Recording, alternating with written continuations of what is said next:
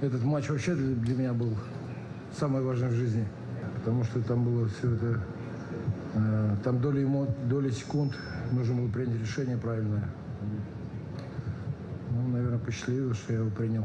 На этой Олимпиаде у нас была именно команда, которая один за всех, все за, за одного, и мы выступили командой.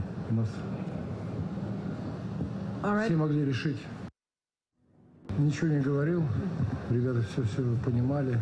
Э, На лавке позвонил Владимир Владимирович, э, Александр Дмитриевич и Жуков. Поздравили с победой. Было очень приятно. Служим России.